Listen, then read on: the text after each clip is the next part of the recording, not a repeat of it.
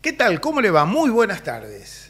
¿Usted quería que Chacarita le ganara a Gimnasia de Jujuy? Se ganó, sufriendo, pero se ganó. Pero usted también quería otros resultados, como añadidura, se dieron. Había que empatar Maipú Rafaela, empataron. Tenía que perder Quilmes, perdió.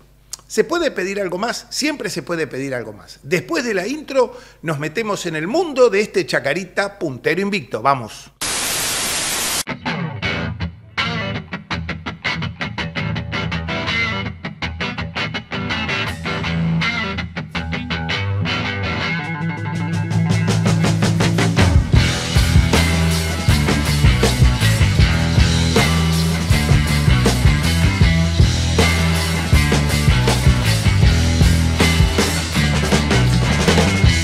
Allá por la década del 40, River tenía una delantera a la que apodaban la máquina.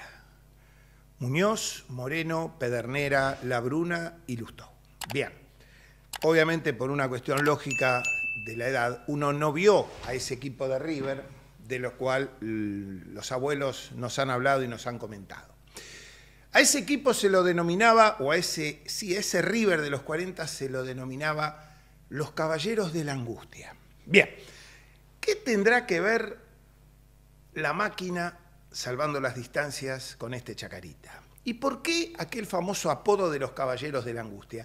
Es que aquel River, como este chacarita, demostraban durante el transcurso de los partidos una amplia superioridad sobre sus adversarios. Y sin embargo, todos los partidos terminaba la gente, los simpatizantes, en este caso nosotros, quienes vamos a ver a Chacarita en San Martín y quienes lo seguimos por televisión porque no nos dejan ir de visitantes, siempre tenemos que terminar con un nudo en la garganta rezando que termine el partido.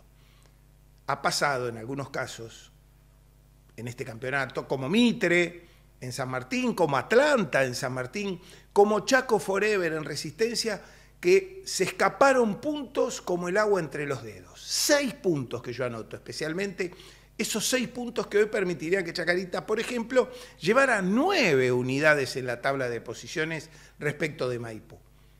Quizás con Atlanta faltaban siete, ocho minutos, podés sacarlo, aunque ese partido estaba prácticamente, Chacarita había demostrado ser muy superior, pero bueno. ¿Y a qué voy con todo esto?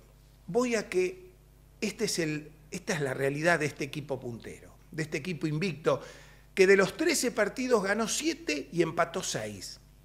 Con un detalle, en San Martín solamente jugó 6 partidos. O sea que estamos por encima de esta media inglesa. Pero siempre, Chacarita, por esas cosas del fútbol y por esas cosas del destino, tiene que terminar, habiendo demostrado ser merecedor de los tres puntos, tener que terminar con esa angustia que nos supera y que hace que estemos en alerta hasta que terminen los partidos. Y el sábado pasado no fue la excepción. No fue la excepción.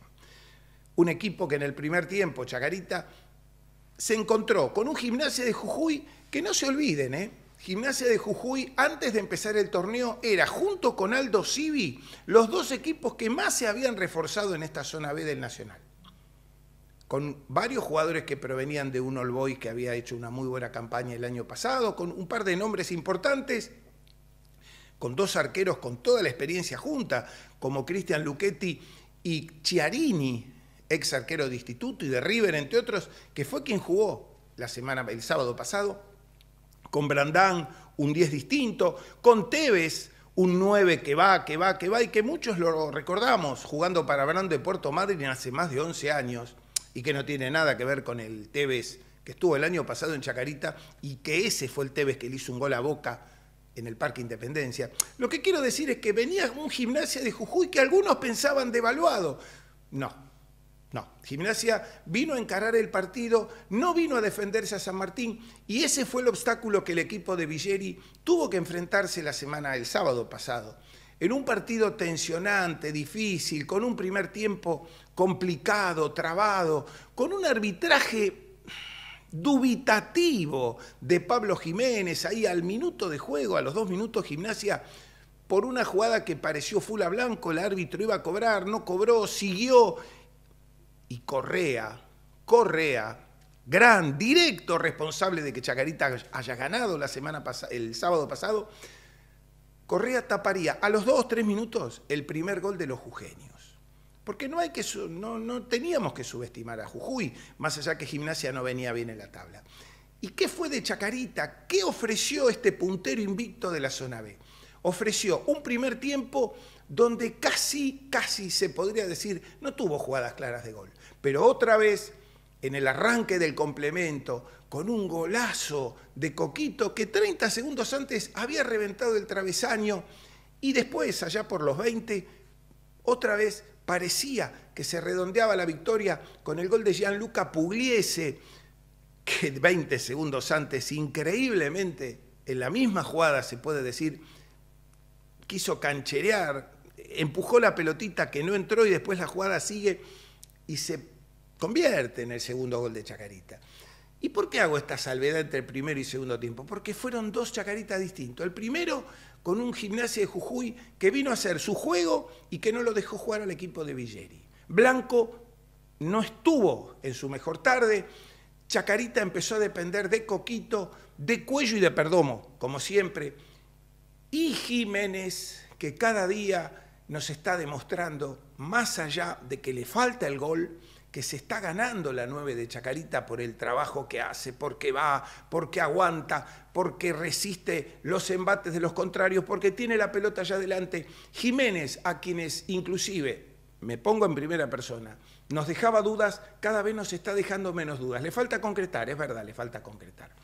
La lesión de Caro Torres en el primer tiempo, ojo, eh, yo no sé si fue un planchazo casual o no, pero Caro Torres no va a estar, tiene aparentemente una lesión en el quinto metatarsiano. Entró Letieri en su lugar y pareciera que Letieri se adecua a las circunstancias, se adapta y junto con Zanini ahí están. Y después los puntas. Juan Cruz y Quiró. Juan Cruz un poquito contenido. El otro día quizás volvía después de haber estado ausente ante Ferro. Quirós aportando siempre marca y proyección. Y ese equipo a los 20 minutos del segundo tiempo, este Chacarita parecía resolver este jeroglífico que le había planteado el gimnasia de Jujuy de Mario Gómez. Pero como aquí las cosas nunca son fáciles, y me empiezo a remitir al título de este, de este editorial, Los Caballeros de la Angustia, rápidamente Gimnasia de Jujuy no nos iba a dar paz, no le iba a dar paz a Chacarita porque dos minutos después el Turbo Rodríguez, el mismo de San Martín de Tucumán, que entró con otros varios delanteros que puso Mario Gómez para tratar de revertir lo que parecía un partido terminado. No, los partidos de Chacarita nunca parecen terminados y Gimnasia se pone 2 a 1 dos o tres minutos después y es psicológico, faltaba un montón. Y con el 2 a 1 uno empieza a dudar, empieza a sospechar que puede pasar lo que pasó Mitre y con Forever. Gimnasia tuvo una jugada clara ya por los 27 minutos, un cabezazo, una palomita que salió cerca del poste, dos cabezazos en el área. Y después la jugada del final, la que no puedo dejar de mencionar. La tapada de Cristian Correa en el último córner del partido, con un cabezazo de Pellerano, un experimentado, un veterano jugador que supo recorrer las canchas del fútbol de Argentina y de América y que el otro día vino a hacer su partido. No, tampoco le vamos a caer a Pellerano. Juega para Gimnasia de Jujuy, estuvo en San Martín de Tucumán, jugó en Atlanta. Todo bien con Pellerano al fin y al cabo. Lo fue a provocar a Jiménez varias veces. Forma parte de esta historia. Lo concreto de todo esto es que en esa última jugada del partido, centro córner para Gimnasia y Grima de Jujuy, Pellerano que cabecea libre para atrás y la tapada gigantesca de Cristian Correa para lograr sostener el partido. Era, era la pelota del empate. Era la pelota de Mitre, era la pelota de Forever. Pero esta vez estuvo Cristian Correa que milagrosamente, y poniéndole justicia a la tarde, porque Chacarita en el segundo tiempo demostró ser más que gimnasia, ganó bien.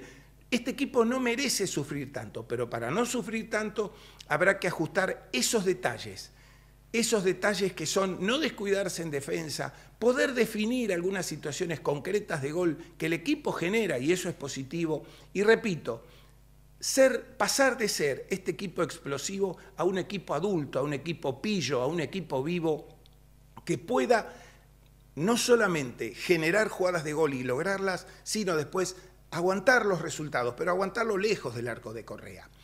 Yo creo que esa experiencia la está teniendo Villeri, se está dando cuenta, encontró su once titular.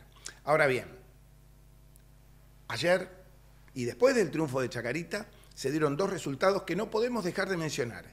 Rafaela le empata sobre la hora Maipú, el resultado que necesitaba Chacarita para sacar una luz de ventaja sobre el equipo mendocino. Está bien, Rafaela sigue vivo y va a seguir siendo un rival en la lucha por la punta. Y fundamentalmente y también de cara a lo que va a pasar el próximo fin de semana, la derrota de Quilmes en la banda en Santiago del Estero ante Mitre 1 a 0, un Quilmes que dicen los que vieron el partido, yo vi un rato por internet, no demostró demasiado, pero justamente este Quilmes al que ahora Chacarita le lleva cinco puntos, es el próximo adversario el próximo sábado a las 8 de la noche en el Estadio Centenario en el sur del Gran Buenos Aires.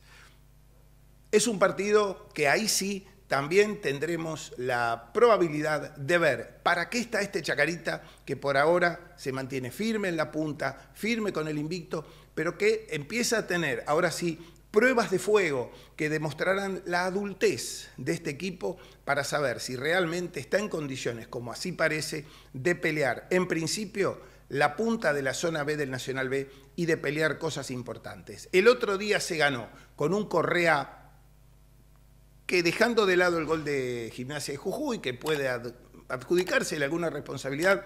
Nos olvidamos de eso porque la tapada que tuvo en el último minuto del partido fue gigantesca, fue monumental y fue la que le dio el triunfo a Chacarita en definitiva.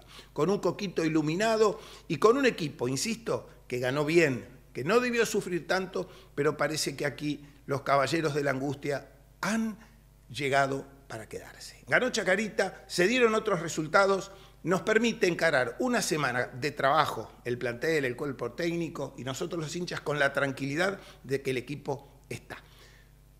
Se viene Quilmes y aquí estamos nosotros como punteros e invictos para demostrar el próximo sábado por la noche que este equipo está para pensar y soñar en grande.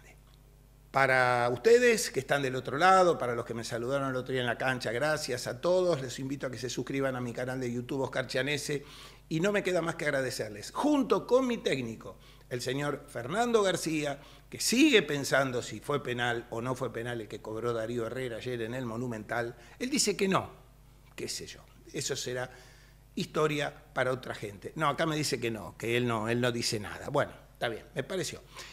Les mando un abrazo a todos, gracias por estar y la semana que viene seguimos en contacto y por supuesto durante la semana, si así lo amerita los reels en Facebook, también nos pondrán en contacto. Les mando un abrazo grande, el placer de siempre y muy buenas tardes a todos ustedes. Gracias.